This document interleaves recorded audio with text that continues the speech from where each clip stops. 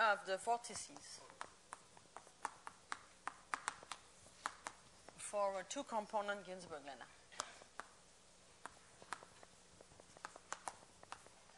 Can you see all the way? Okay. Right as big as possible. Bigger than this. So let me remind you the setting here we have. So can you still? No, you cannot. I'll go here. Let me remind you of the setting. So we have um, a two-component Ginzburg-Landau, which is uh, the Ginzburg-Landau system. Looks like this. And we have a potential.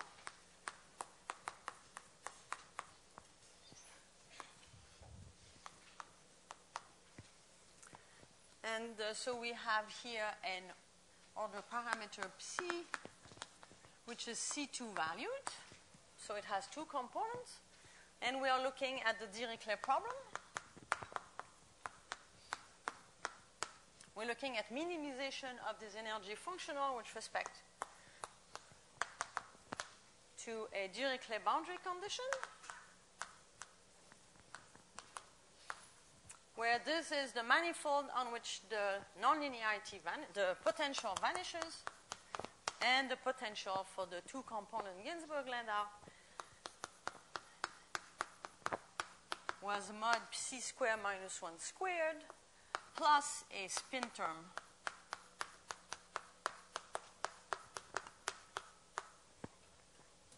Okay, is this big enough? Okay, so uh, sigma is where f vanishes. And we saw that this corresponds to a 2 torus. You want c plus squared to be equal to 1 half and c minus squared as well. Okay, so um, we saw that as epsilon tends to 0, that's what we were interested in. We had several results, so we saw that some vortices will appear. Should have a smooth domain, not a corner. There will be some vortices appearing. We saw that psi epsilon will actually converge in a nice sense to a sigma harmonic, a smooth, a smooth sigma harmonic map. And um, so we have these degrees here. We are assuming again that the degree of G is non-zero in order to get vortices. And uh, we saw this convergence, so I said very little, but this is a convergence here away from the vortices.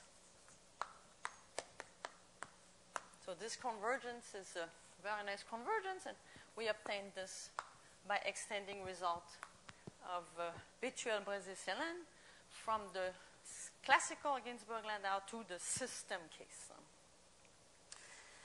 And uh, so we saw that looking at the cost uh, analysis, we saw that minimizers of this functional would have to would like to have the vortices.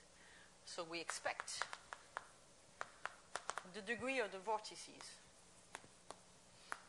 for a minimizer to be either 1, 0 or 0, 1. We saw in plus and minus. And uh, we saw also that the classical Ginzburg-Landau, where both components are the same, are given by the Ginzburg-Landau order parameter, corresponds to a, in the limit, corresponds to superposition of these two topological vortices. So what we would like to do now is figure out, and we saw that we can find the location of these vortices by minimizing a normalized energy. Now what I would like to know is, so, and so what we expect here is nearby these vortices here, the question is nearby the vortices, psi epsilon will be away from the, we have this, will be away from the sigma valued so they will, the question is how are minimizer resolving the singularity near the vortices? What do these vortex, what does the structure of these vortex look like? So we're interested now in the structure. And so what we're going to do is, you know, put a, a micro, we're going to zoom, zoom nearby these vortices. try to see what is the shape. So I want to do a blow-up analysis of, uh, of the solution here. So let me write down first the Euler-Lagrange equation.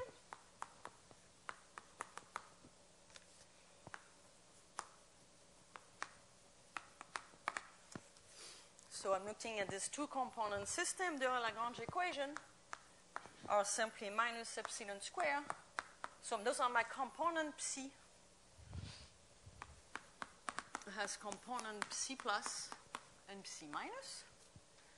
And the equation they satisfy is this.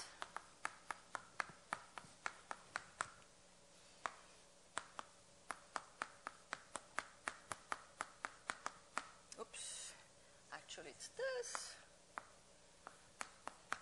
And similarly, we have lots of symmetry in the system in terms of psi plus and psi minus. There's a little difference. There's a minus here, beta.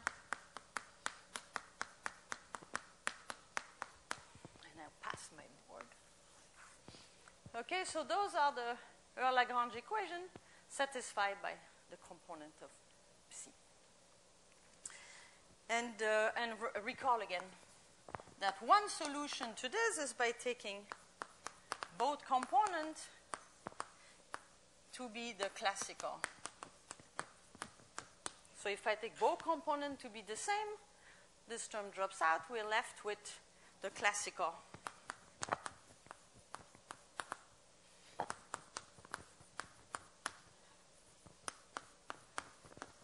Classical Ginzburg-Landau problem. So we always have a solution to this by taking both components being this classical solution. And so we always think of the classical Ginzburg as being these two components being the same. So I want to do a blob analysis on this. So the first thing I would like is to get a a priori estimate on solution to this. So I'll start with this uh, estimate here. I want to show that psi epsilon is less than or equal to 1. Okay? So I'm giving just a little idea here. This is really a nice application of the maximum principle. So you defined V to be mod psi squared minus 1. You look at the equation satisfied by V, and you will find that the Laplacian of V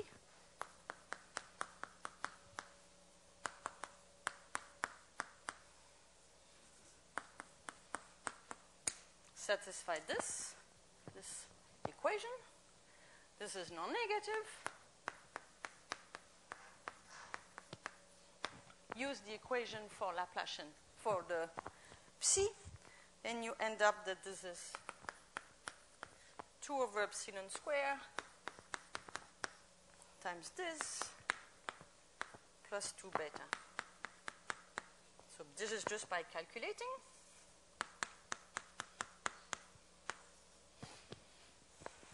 Okay, square, this is important. Square, so this is again non-negative. And so we have this very nice condition here on V minus Laplacian V plus 2 over epsilon squared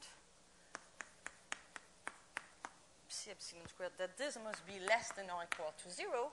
And on the boundary, because we have Dirichlet boundary condition, the mod of psi must be equal to 1 because we've imposed this to be equal to g where g is sigma valued so the mod of psi squared must be equal to 1 and v on the boundary. Okay so now we're on the nice setup of the maximum principle.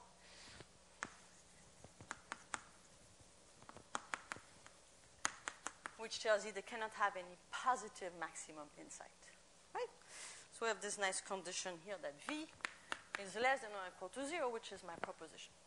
Okay?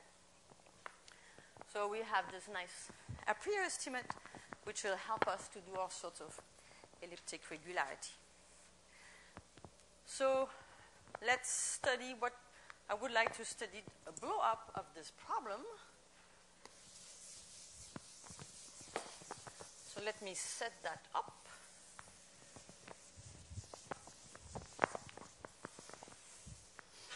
Okay, so I want to do a blow up.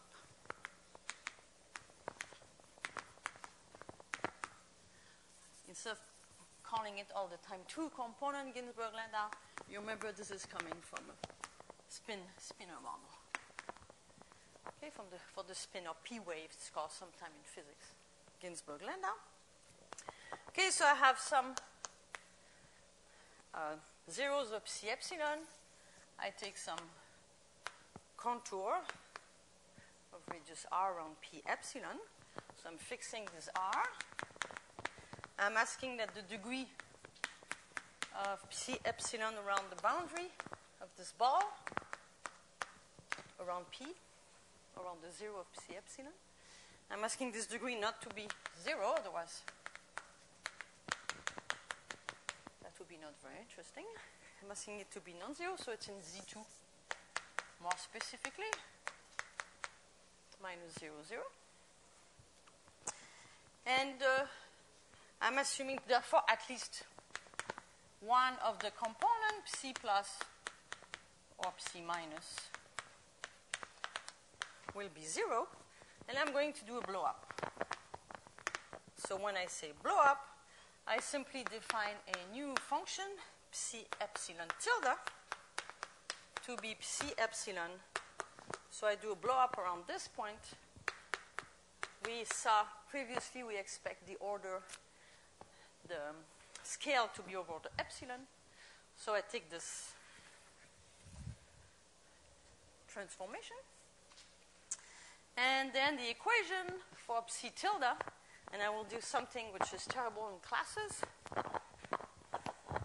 but you will understand. You do a blow up this change a variable, and I'm a professor, so I can erase, and you have to write the whole thing. So this is what the equation is satisfied for psi tilde. Uh, psi tilde satisfies this. Just by this change of variable. Of course, where? In ball centered at zero. So this is in ball centered at, at zero of radius r over epsilon. Okay, so basically we have do a blown up here of p epsilon. And now um, we have this estimate here that gives me a control on the right hand side because psi epsilon is bounded by 1. So we have some L infinity estimate on the Laplacian of psi tilde.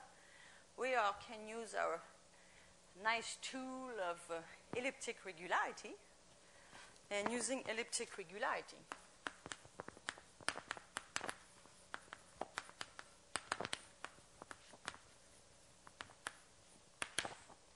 We can obtain a subsequence which converge pointwise in all of our 2 to a limit as epsilon times to 0. So using elliptic regularity, uh, we get a subsequence. Subsequence, which of course I write psi epsilon as usual, which will converge pointwise in all of our 2,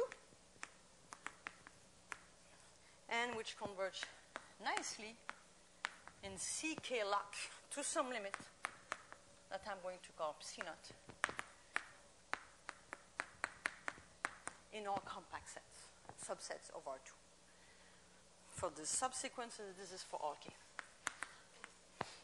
Okay, so we have, and, and the equation, of course, satisfied by psi naught when I do the, the limit as epsilon tends to 0, using all this nice uh, elliptic regularity, is the same but in R2 right? So we get this system. So again, I'm a terrible professor. I erase everything. So it's going to hold now in R2, and all the tilde becomes zeros.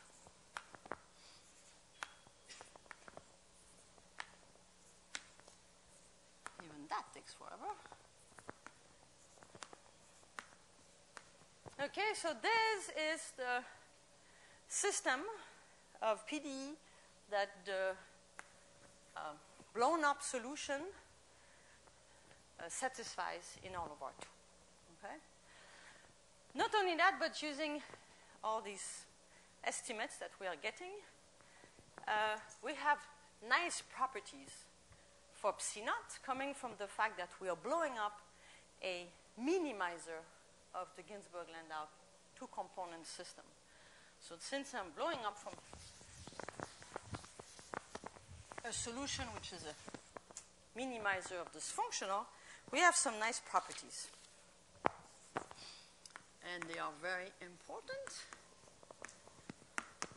Additional properties.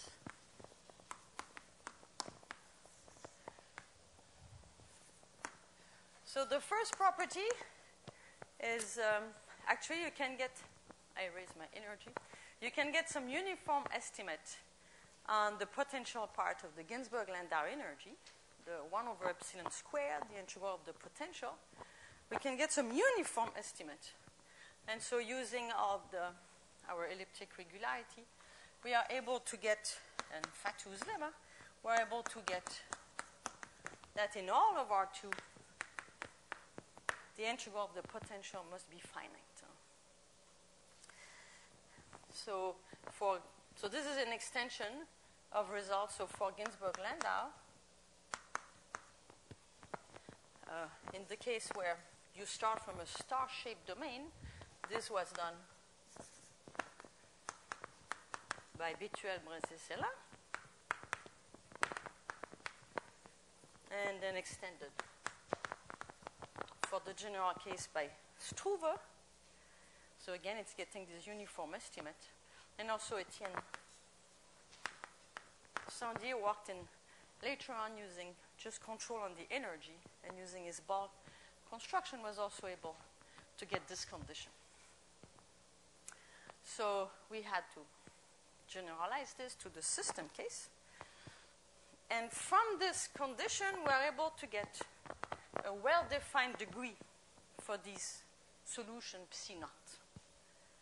The reason for that is basically uh, this potential being finite forces far away at infinity.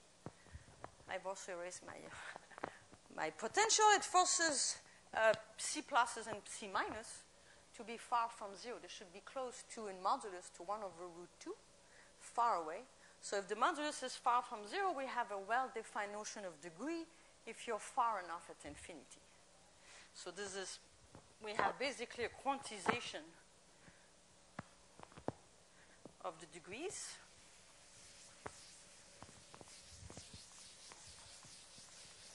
So that's property two.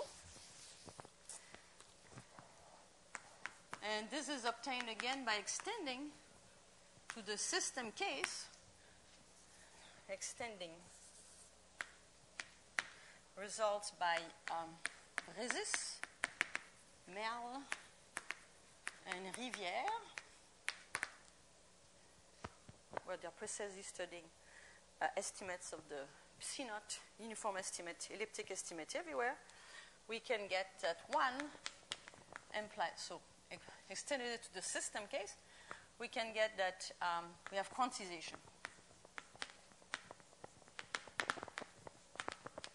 So what do I mean? Quantization of vortices.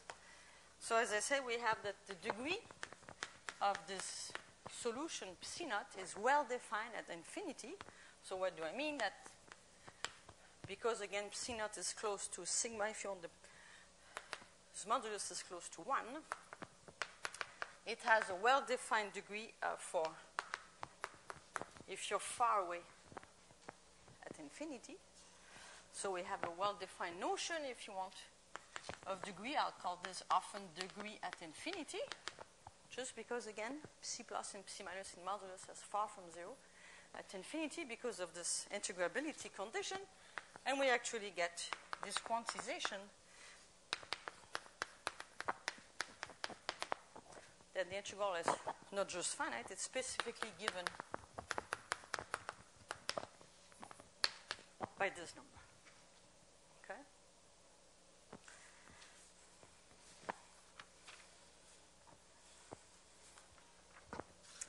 And finally, the last condition, again, that for a blow up, that it must satisfy a, a solution which is blown, blowing up from a, a uh, minimizer, the last solution. So we already saw that the energy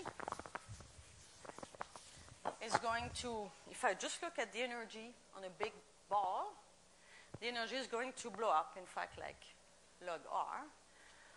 But there's a nice notion which still makes uh, sense here, which is the following. We can show that psi naught is what's called a local minimizer. A local minimizer in the sense of De Giorgi.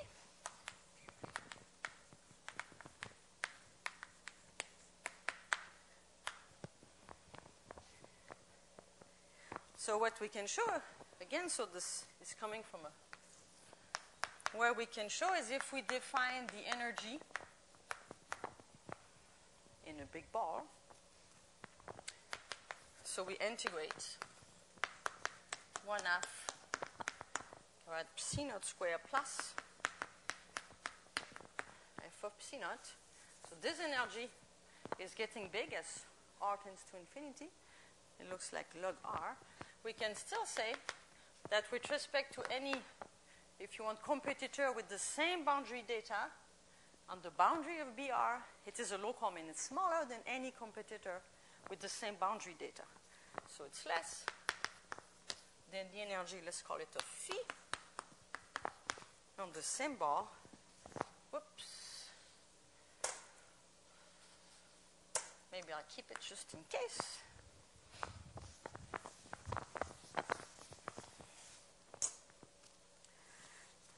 So where phi, where phi is equal to psi naught on the boundary. Again, the reason this is true, again, is because this is coming uh, from a global minimizer uh, for E epsilon. So because a global minimizer for E epsilon, it has to be, when you do this blow up, locally minimizing with respect to competitor uh, satisfying this property. Okay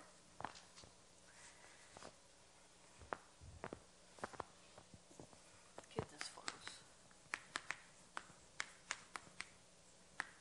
This follows since epsilon is the global min.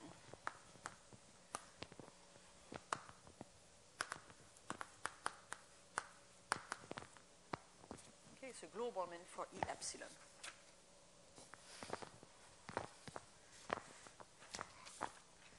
So, uh, we're trying to understand the structure of a vortex. We see that if we blow up, we get this system of equation plus these three properties that the potential must be finite. In fact, we have quantization, we have a nice notion of degree at infinity, and the blown absolution must be a local min in the sense of De Giorgi.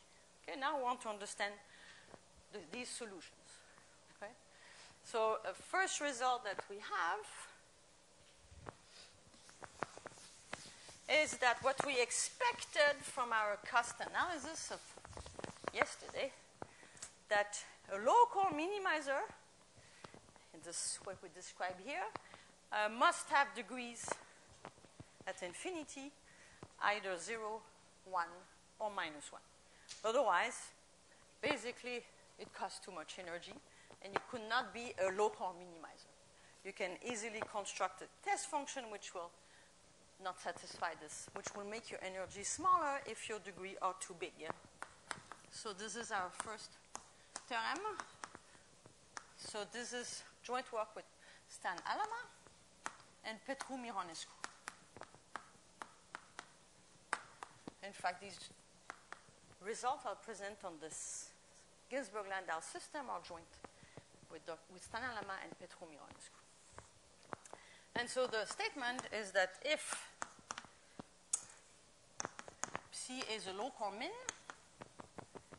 in the sense of De Giorgi,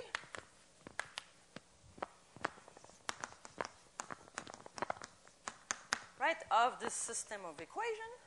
We're looking for local min of the system of equation, then the degree at infinity, what I call the degree at infinity, this n plus and n, and n minus, can only be 0, 1, or minus 1.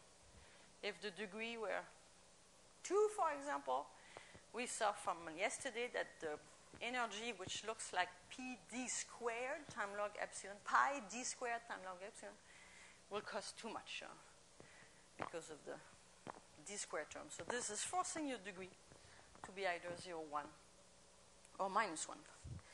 So for Ginzburg, so this is obtained by generalizing again the uniform estimate at infinity of Shafrir. So extending this to the system case. Okay.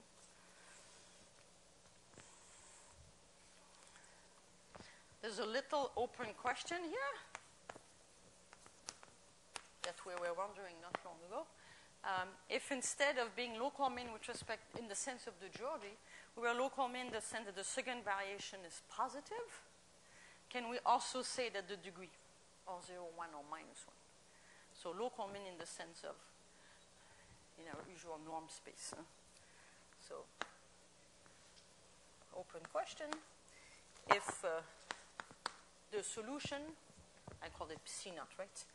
Uh, if if the solution to this system, psi naught is actually obtained as a blown up of the global minimizer. So if, if the solution to this system, what we know is uh, stable in the sense that the second variation is positive, can we say also that the degree are 1? So this is hard to see now. 0, 1 plus or minus 1, we don't know. We know, assuming that we have this local minimizing property in the sense written there. Okay? Okay, but I still trying to understand what the solution look like because I want to know the structure. What is the structure of uh, these vortices in the system? The, hopefully, we're going to get some new type of vortices. And so the first, we're going to look for solution of the system. And of course, a nice solution to look for is uh, equivariant solutions. So I'm going to look, make an ansatz, look for solution which are equivariant. And let me just say, uh, review. In the case of the classical Ginzburg-Landau problem, so again, psi plus equal C minus, I just have this PDE for one complex valued function. You make the ansatz. that your uh, that the function you're looking for is of the form f of r times e to the i, and I'm going to allow any degree, although I know that my local minimizer will have degree 0, 1. So I make this and that, this general and that, to find solution, and uh, there are results from Hervé. And Hervé, and later on also. Chen, Elliott, and Shi, where they show that there exists a unique radial profile which is monotone increasing. And looks like r to the degree uh, near zero. Okay, so this gives the shape of the radial profile. And in fact, if you put together results of Etienne Sandier, Itai Shafrir, culminating to uh, some uniqueness result of Petru Mironescu, we can show that um, the local minimizer, what we are looking for, in fact, are this radial profile and that this radial uh, and that equivalent solution is the unique solution to the system, which is a local min. So this is putting together result of Etienne, And culminating into this uniqueness result. So I'm putting it this way. There are three different, this is three different, there's a big point here. Three different results here, which when you put them together tells you that psi naught is a non-trivial, non-trivial local min, again in the sense of De Giorgi.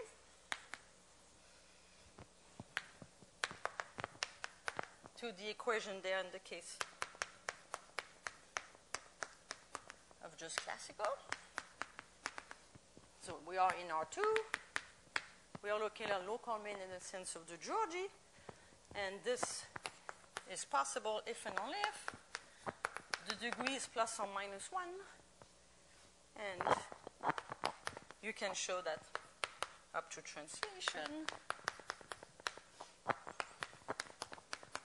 and some rotation, the solution psi naught, so I should not have had my little bars to distinguish vectors from scalar, uh, psi naught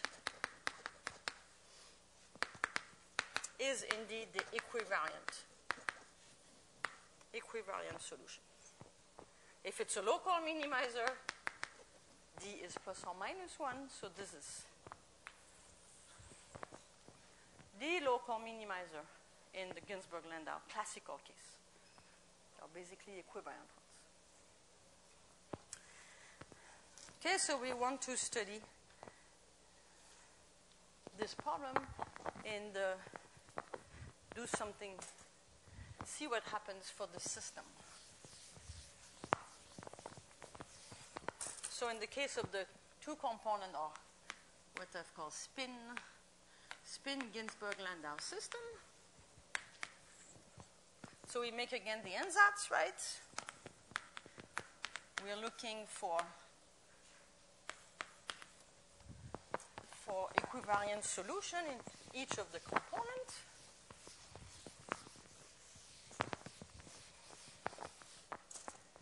So we make the ansatz that it looks like F plus, some radial profile times e to di and plus theta and f minus times t to di and minus theta.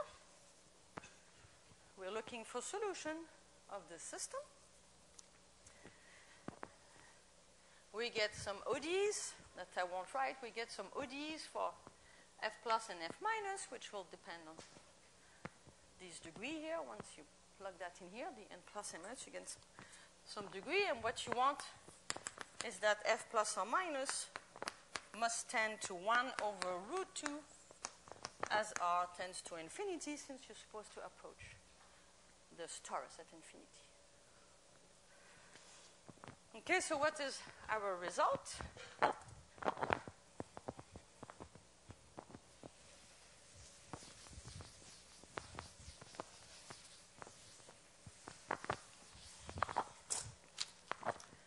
so we have, again, this joint work with Stan Alama and Petru Mironescu. So again, we're going to have existence of a unique profile, no matter what degree. There exists a unique F plus and F minus. a unique profile, but there's something a bit, a bit different happening here. So if the degree are not zero, we do get this behavior near the origin as, as expected. And uh, notice as well again that this is a remark that if um, n plus is equal to n minus, we know since we have this uniqueness here, we know what the profile should look like. It should look like a Ginzburg-Landau classical profile on both components. So in that case, F plus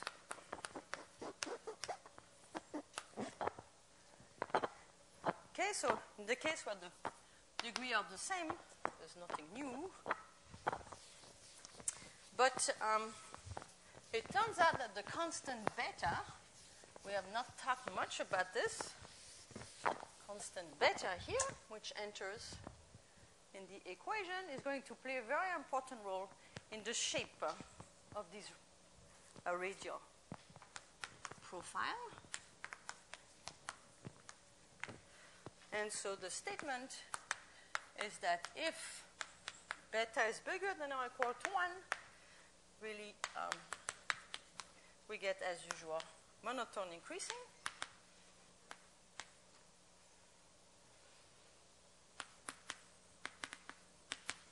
No matter what n plus and n minus, the shape is going to be monotone increasing as in the classical.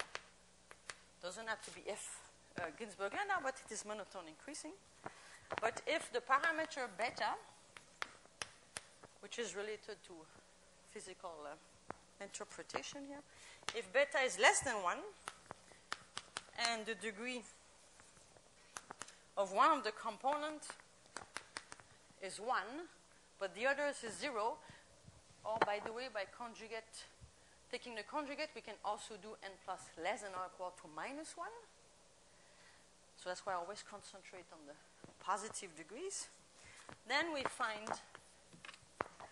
that the profile corresponding to the positive degree is monotone increasing, but the profile corresponding to the to the degree zero is actually decreasing.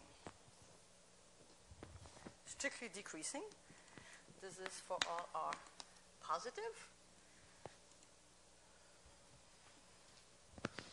So what does this look like and what does it mean in terms of our uh, topological degree 1, 0, right?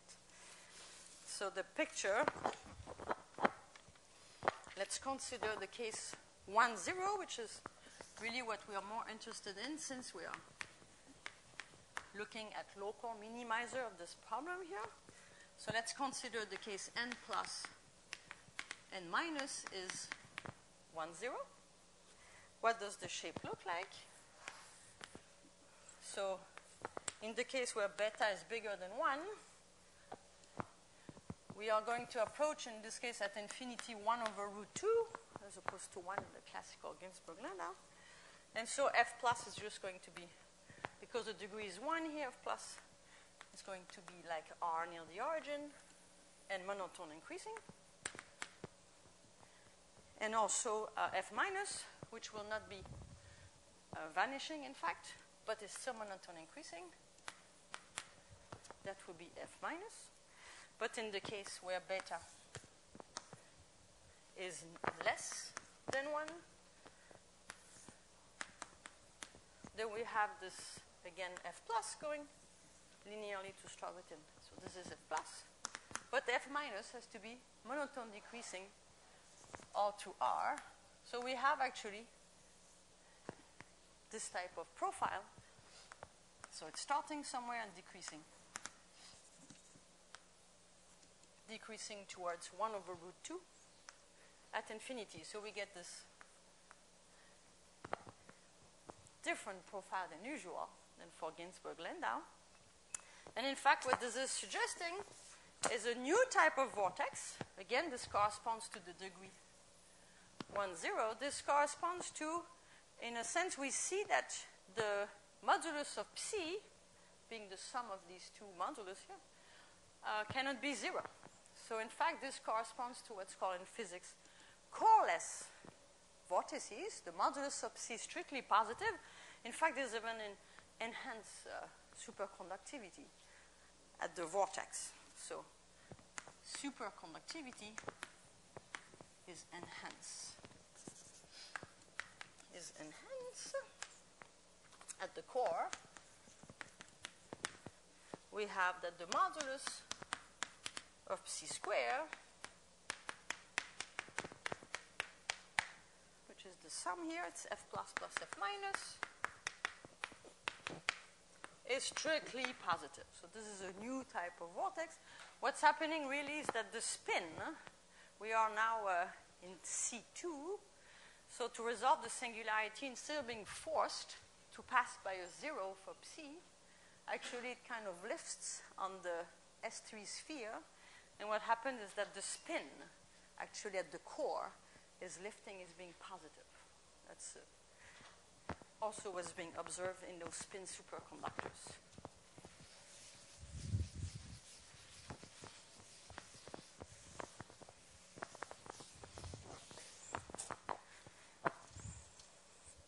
Okay, so this corresponds to coreless. Coreless vortices.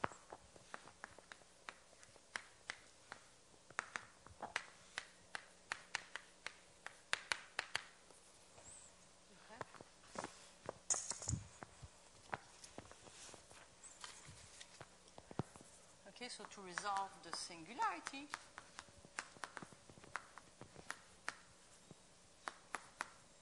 to resolve the singularity, the mod psi does not need to vanish.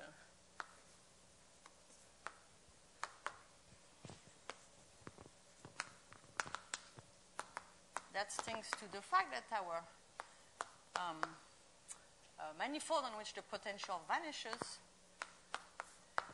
is a subset of S3, so it allows the spin. And the singularity is that the spin actually becomes positive.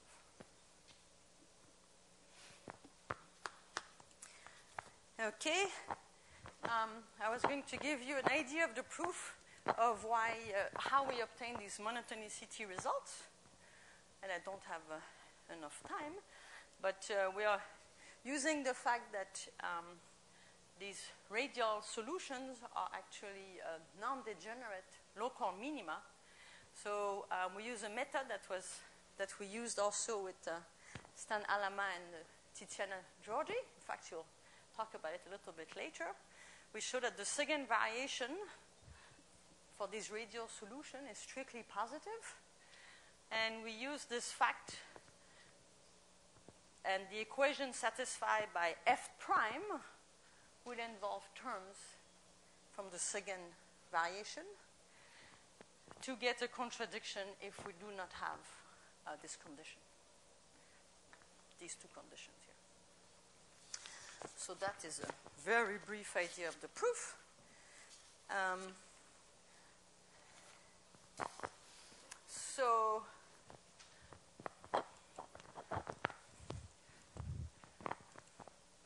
So we have found the equivariant solutions. Let's see, I think I can by now erase this. We have found equivariant solution to the system here. But um, there's still open question. Open question. We don't know if these equivariant solutions are actually non-local minimizer in the sense of De Giorgi, which we knew by the theorem of uh, what we saw Sandier and Shafrir and ultimately Mironescu. So the first question is, is the equivariant solution of degree n plus n minus equal 1, 0, is this a local minimum? In the sense of De Giorgi? I won't write it. And uh, the other question also is uh, we don't have uniqueness. So if this is a local min, are the equivalent solution the only local min to the system, which were all results that we know for the classical Ginzburg-Landau. So must uh, every local min. Local min of degree 1, 0 be equivariant.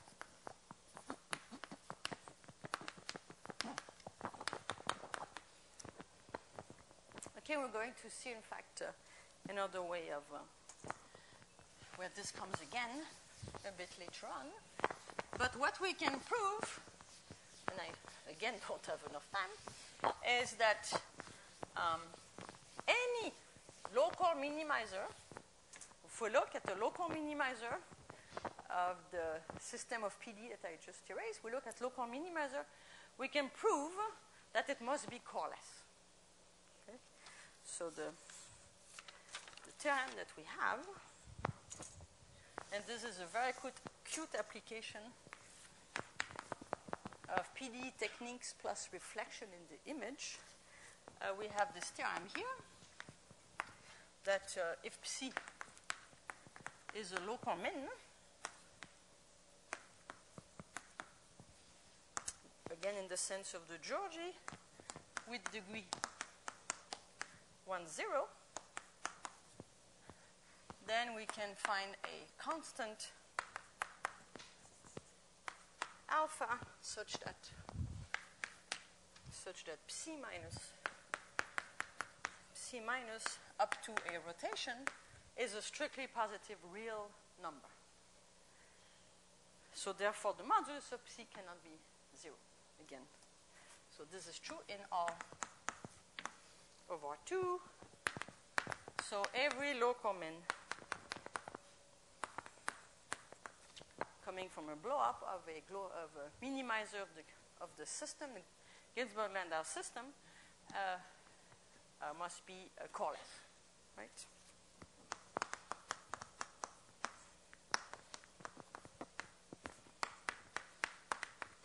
Okay, so the degree 1, 0, uh, if we have a degree 1, 0 at, at infinity, if you want, the, the uh, minimizer of the original Ginzburg-Landau system for epsilon small but positive will be coreless.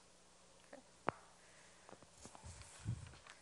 And in just a very few minutes, I just want to give the idea because this is a very nice simple proof.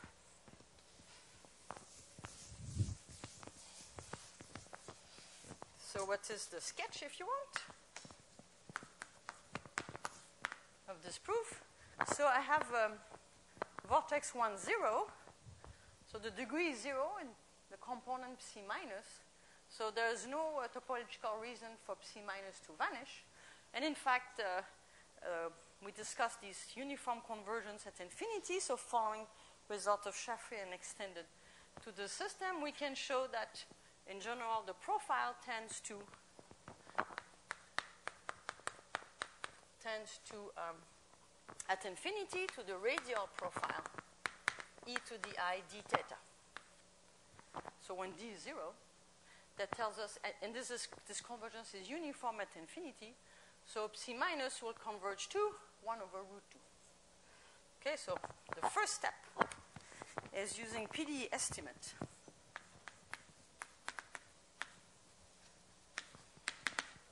Uh, similar to Shafrir, you can find a constant, C minus, such that the component with degree 0 must converge to 1 over root 2 up to a phase uh, uniformly.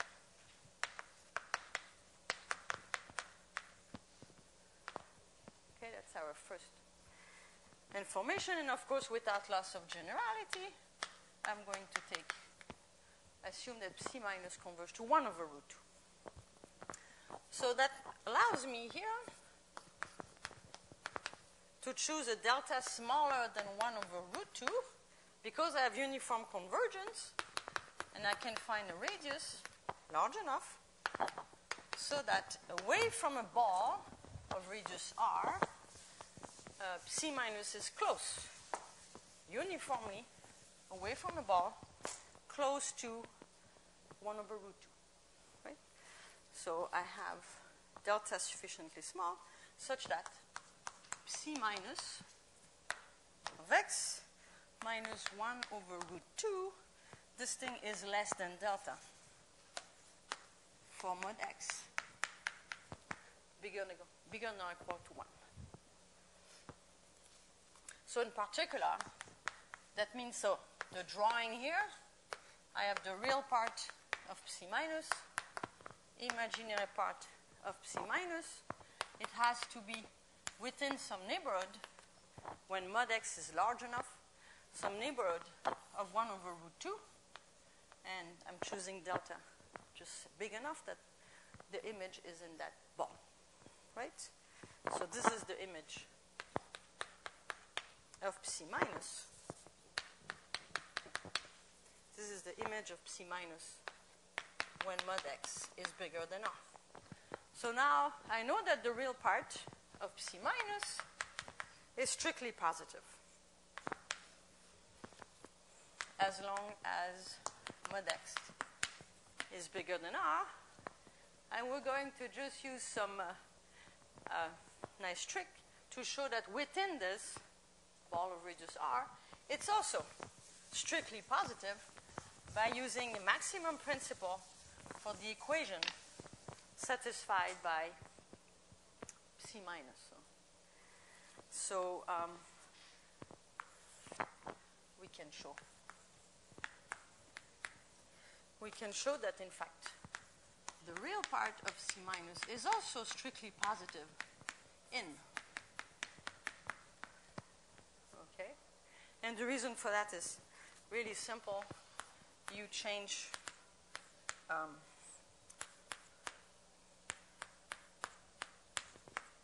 you change psi minus, we call psi hat, sorry. Um, we take the, uh, the absolute value of psi minus, so psi, sorry, is the real part plus i, the imaginary part. So I just take here absolute value. I know that this is positive away from the, in mod x bigger than r, and I know that the energy stays the same even if I put absolute values here. So I know that this new function is also a local minima of the energy and therefore satisfies the same system of equations. We have a strong maximum principle, so we can show that in fact um, this never reaches zero. Okay? So strong maximum principle. implies that the real part of C minus is strictly positive. Okay, now I know the real part is positive, so the last thing is kind of a reflection playing in the image space, and this will be the end. Uh, I just want to prove that the imaginary part must be zero. Okay? And so to do this, you notice that if I take a rotation, let's call it psi alpha, which is just a rotation of psi.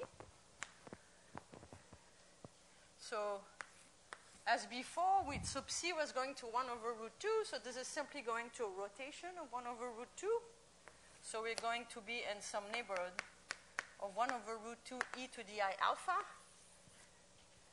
Again, the real part is positive if you choose delta small enough, you can show that at infinity, the real part is positive, exactly as before.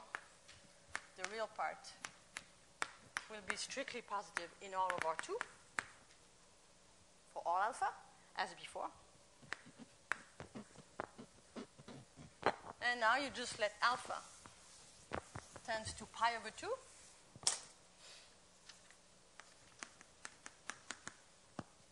then we see that psi tilde alpha is simply i psi. Right? So the real part of psi tilde alpha will be um, i times the real part of this, which will be finally the imaginary part, or minus the imaginary part of C minus.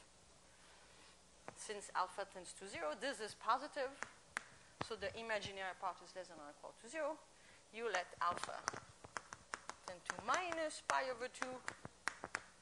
Then you get here minus i, see?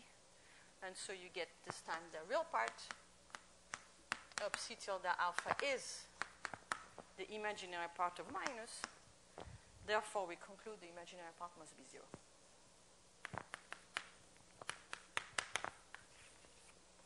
Okay? That terminates my talk today. So tomorrow we're going to be studying the case, the degree 1, 1 vortices. We've been looking at 1, 0. What happens to the 1, 1 degree vortices? Is there also something new happening?